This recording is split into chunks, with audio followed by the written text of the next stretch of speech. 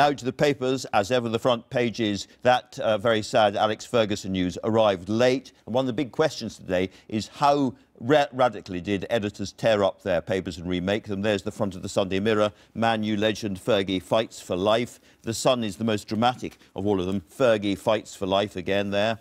And the Mail has not got that story on the front page. It's got a story about Javid, uh, Sajid Javid's uncles and a visa scandal. A lot more to be talking about there. Uh, the Sunday Times knife crime epidemic hits the Shires. They know where their readers are. And one of the many papers with uh, Prince Louis on the front page, pictures released by the palace yesterday, and again Prince Louis on the front page of the Sunday Telegraph. But a big Brexit story. Brexiteers threaten May with open revolts, and menacing phrases there, but of course from anonymous Brexiteers as ever. And finally, the Observer. You were hearing about that Trump and Iran story, a really interesting dirty trick story the Observer's got. Very interesting there. So we're going to start, of course, with Alex Ferguson. Kay. Yeah, we are. Very good morning to you, Andrew. Thank good you morning. for having me along. My first time on the show. Um, while we were all out yesterday in the sunshine enjoying the, the first uh, mm. flush of spring, um, Alex Ferguson's family were gathered around his bedside. He was uh, rushed to hospital at nine o'clock yesterday mm. morning.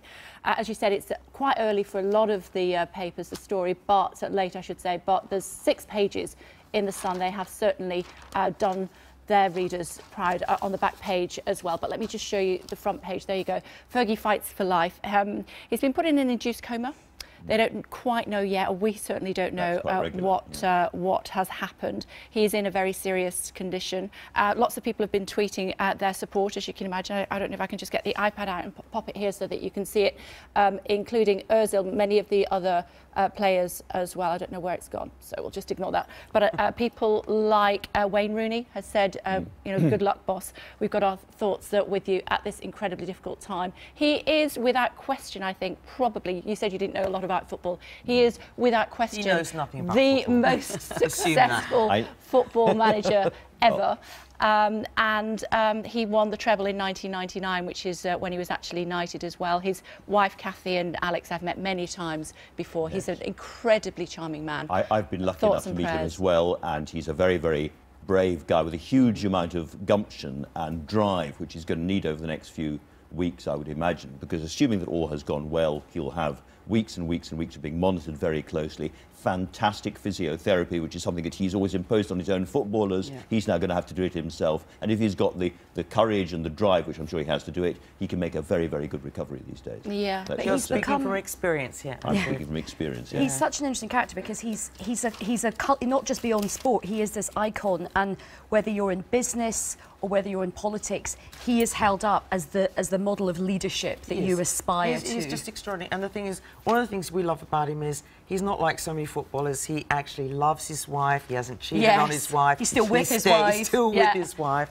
And you know, he's just, he's, just, yeah. he's like another, another generation. Yeah, absolutely. Let me just read this um, uh, tweet that I can't find on the iPad, but it is in many of the papers as well. The procedure has gone very well, says Manchester United, but he does need a period of intense care to recover. So there is mm. some cause for optimism there. Yeah, that, that doesn't sound too bad actually. Very well is good. Amanda, let's move on to politics. Right, on to And politics. this very interesting splash in the Sunday Telegraph. This is a, a long-running argument in Cabinet increasing on the front pages of the papers too. No, it's it, it, of course there was huge pressure after the meeting in the cabinet this week.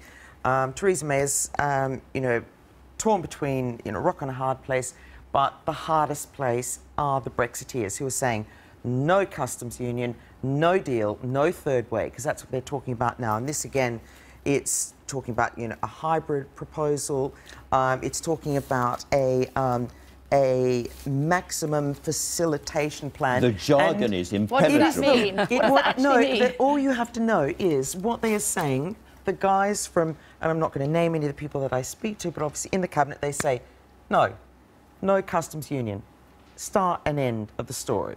But you know we've got all of these these machinations, which I think are going to go on for. And for, uh, I think with some of the Tory rebels, particularly, I mean, in the Lords, they think they have enough uh, rebels, but in the Commons, people like Anna Soubry and Nicky Morgan have been quite um, restrained about crossing the line and voting with Labour, let's say, to defeat the government. But on this customs union, it's such a big issue. Mm. I think the Well- Conservatives would face. I think she has a high chance of facing We're, defeat we're on this. told, we're told that the chief whip has told Theresa May that she can't win this vote in the House of Commons at the moment. Yeah. It might have to be delayed. No, I'm, I'm sure that's true. That's I- why this battle is so fierce at the moment, and that's why you've got all these briefings. And from the conversations I have with people in the cabinet, this is coming from the top of Yeah, and the Brexit, backbenchers as well. I interviewed Jacob Rees-Mogg at the weekend for my programme on Sky, and he. Don't you um, love him? I, you know, I, I, I went with a a preconceived part, idea of what he was going to be like, and he was incredibly But can I just charming. say he is He like is. something that Time Team have dug up?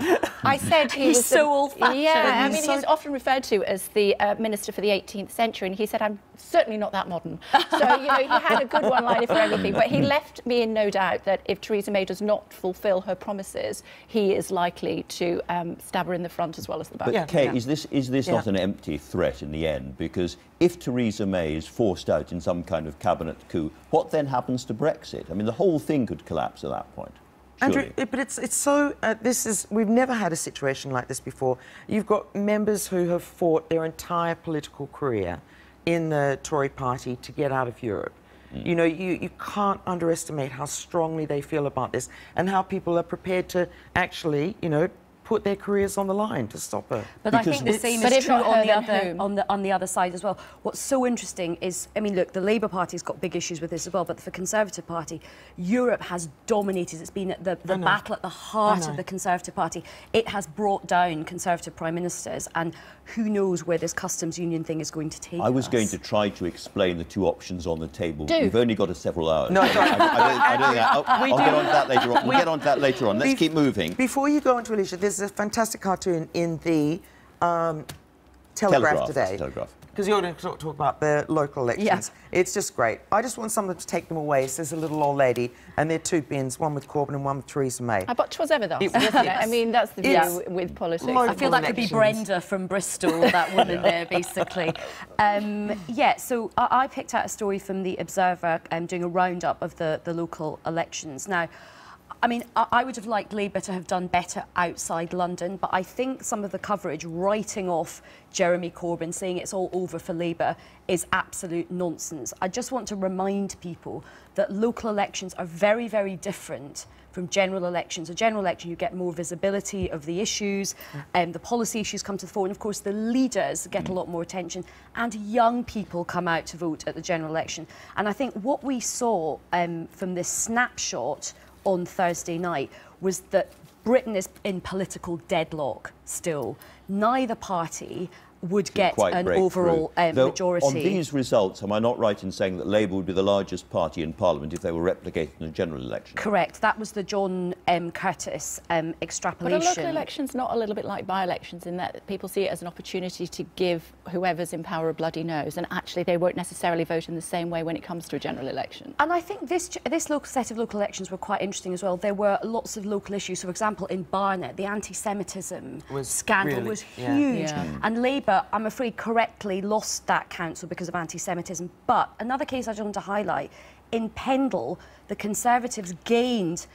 a council because of a very nasty thing. They reinstated a councillor who made a disgusting racist joke, which frankly would have put the BNP She, to, she was to shame. she was sharing it, but it is unbearably bad. Yeah. It's the kind of thing that cannot even be alluded to in general terms on family television Absolutely. programmes. And I think, you know, we have got to tackle racism and anti Semitism in in all walks of public life across all different parties. So I just wanted to make the point that um, I think all the uh, predictions that it's game over for Corbyn are premature. Just remember in the 2017 general election campaign, Corbyn went into that election 24 points behind and everybody wrote him off and he did a lot better. So I think it's, it's Yeah. wrong to It's all about right. mobilising the Yeah. young vote, Now, isn't it? One of the points of this paper review is to remind people of all the stories that are not actually in the, in the TV headlines but are still very important. And Kay, the front page of the Sunday Times has a knife. We've been talking about knife crime in London. Now Yeah. it seems that the knife Need to put my crime glasses on epidemic for this one. I can't read the spreads- small print. Um, spreads well beyond London. Yeah, I mean, we, and we heard what Trump said, didn't we, um, about uh, Lo- a London hospital being like a war zone. He was certainly um,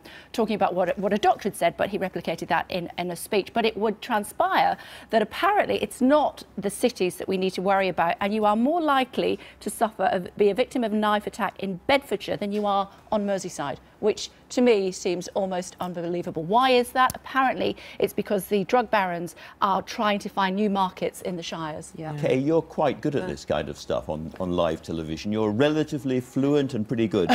I read much, that you have done more live television, apart from your gong, congratulations. Thank you. Uh, apart from the gong, you have done more live television than any other woman, woman in Britain or the world. Uh, I've On presented. Earth. I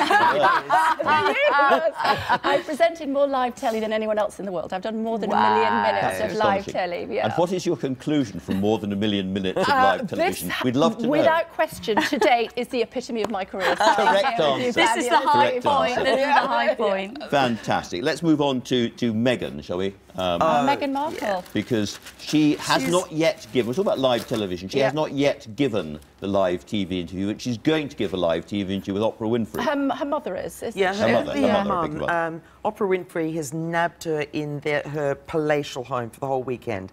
Got six hours of interviews on tape, um, talking about how all the abuse that she suffered, um, Meghan suffered since it was announced that she was marrying. Um, Her mother suffered a lot of abuse when She did, all yeah, all when the- they got married. When, Yes. they, when she first married uh, Meghan's father, Yeah. um, she was often seen by the many of the people in this mostly white uh, Yeah. neighbourhood that they lived in as she was seen as the maid.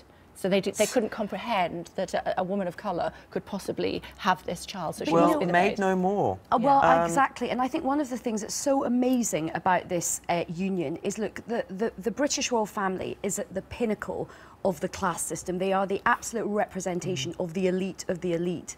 And to have a person of colour join that, I think, is an incredibly important and powerful moment for, And for this Isn't country. it fantastic that her dad's going to walk her down the aisle? Yeah. And I don't think he's been out of his little hut in wherever he lives now. He's a bit of a recluse, but he's been, you know. Although I did feel sorry for him up because he's gone out to buy his wedding suit and they've been getting I pictures know, of him getting know, measured up. I and know. it's like, And oh, he's no. He's quite, he's quite big, isn't he? He's quite big.